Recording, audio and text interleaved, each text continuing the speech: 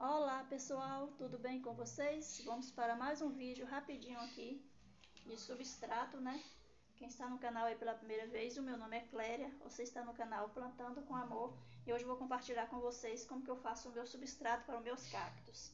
Aqui é um carvão triturado, antes de triturar o carvão eu coloco ele de molho, para ele não estar tá levantando aquele pó aí, né, que prejudica muito a saúde. Então esse aqui é carvão triturado, aqui é terra, uma terrazinha bem preparada, terra preta mesmo, terra comum. E eu vou estar tá colocando aqui essa quantidade de carvão triturado. Meio baldinho aqui, ó, com balde quase cheio de terra, quase a mesma medida de terra. Porque eu vou estar tá utilizando mais carvão? Porque eu quero que fique mais carvão do que terra, né? Para não ficar muito com muita terra. Eu prefiro que meu substrato tenha mais carvão. Então, vou estar utilizando também esterco de gado. Aqui tem um quilo de esterco de gado, né? vou estar colocando aqui quase um meio quilo. Esterco de gado tem que colocar mais pouco. Esse esterco de gado aqui é muito bom. Vou misturar tudo. Tem um substrato assim muito bom. Mas o carvão mesmo, carvão triturado, eu vou usar duas medidas dessa. Duas medidas de carvão. Vou colocar logo outra medida de carvão. Lembrando, pessoal, que eu não tô, tô mostrando como que eu faço o meu, né? O meu substrato.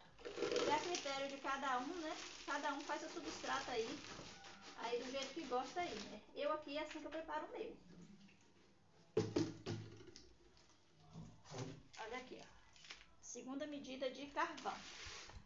Eu quero um substrato bem potente e que tenha boa drenagem. O carvão é muito bom para as plantas e também ajuda muito aí na drenagem, né? Então eu mesmo trituro meu carvão. Eu gosto do meu substrato que eu mesmo faço. Comprar substrato eu compro. Eu compro substrato. Quando eu estou muito sem tempo de fazer, eu compro substrato. Mas eu gosto de eu mesmo fazer, né? Vou estar utilizando também casca de arroz carbonizada, que é muito bom para a planta e ajuda na drenagem, né? Casca de arroz carbonizada ajuda até na drenagem das plantas. Vou estar usando aqui 2 litros de casca de arroz. Esse substrato é para ficar bem potente mesmo. E aí com a ótima drenagem.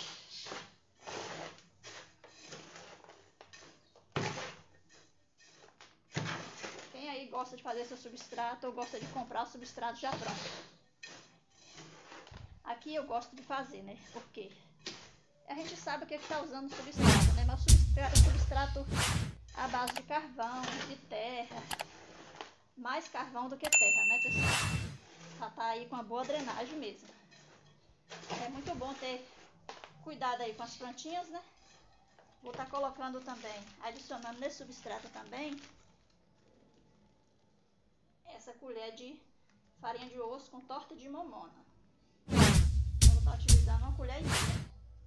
Farinha de osso com torta de mamona. Por que eu utilizo a farinha de osso com torta de mamona? Porque aí o meu substrato já fica adubado.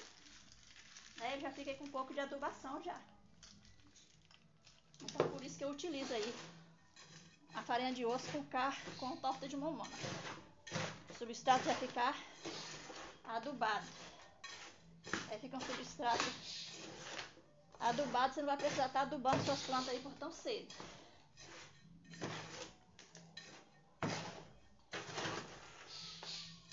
Eu vou precisar mudar muito minhas plantas, né? Porque eu fiquei muito tempo sem ter tempo de mexer com minhas plantinhas, então estão todas precisando de trocar o substrato. Aí vou estar molhando pouquinha água eu vou colocando água aos poucos, porque eu não deixo o substrato encharcado. Eu deixo ele leve e umedecido. Só úmido. Deixo ele úmido, úmido. Aí eu não, não coloco muita água, não. É que é um pouquinho de cuidado, né? Pessoal, o vídeo vai ficar um pouquinho longo, né? Porque substrato não tem como se fazer um vídeo bem rápido.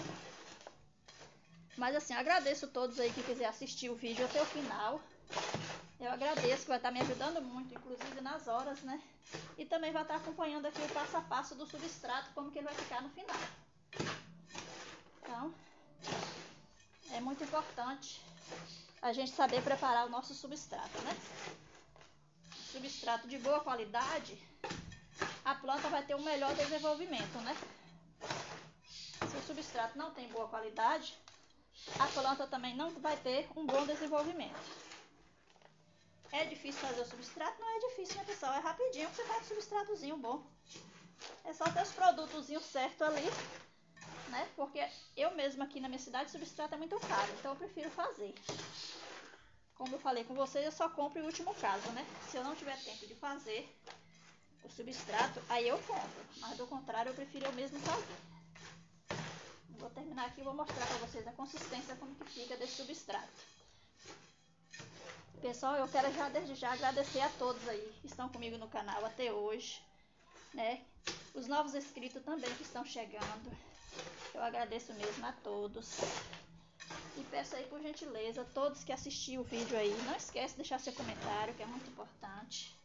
Deixar seu like, né? É muito importante também. Eu vou mostrar pra vocês agora como que ficou o substrato. Ó a consistência do substrato. Ó. Ele não pelota na mão, tá vendo? Ó, e assim ficou, ó. Aqui é um substrato com uma ótima drenagem, né? A planta não vai estar tá aí aprodescendo as raízes. Substrato com uma boa consistência. Tá com uma ótima consistência ele. Então é isso aí, pessoal. O vídeo de hoje é esse. Eu agradeço a todos que estão se inscrevendo no canal, os novos inscritos que estão chegando. Quem gostar do vídeo aí, curte, compartilhe deixe seu like, se inscreva no canal para receber notificação dos próximos vídeos. Eu agradeço a todos que estão se inscrevendo no canal, os novos inscritos que estão chegando. Meu muito obrigado, fiquem todos com Deus e até o próximo vídeo. Desculpa o barulho de som aí, viu, pessoal, aqui na rua. Tchau, beijo, fiquem todos com Deus. Deus abençoe todos vocês.